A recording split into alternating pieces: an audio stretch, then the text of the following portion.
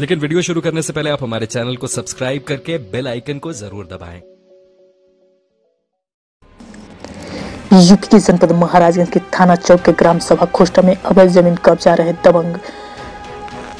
ग्राम प्रधान और लेखपाल का कहा नहीं मान रहे और मनमानी दीवार चला रहे हैं जनपद महाराजगंज के खोष्टा से। सुनील कुमार की रिपोर्ट।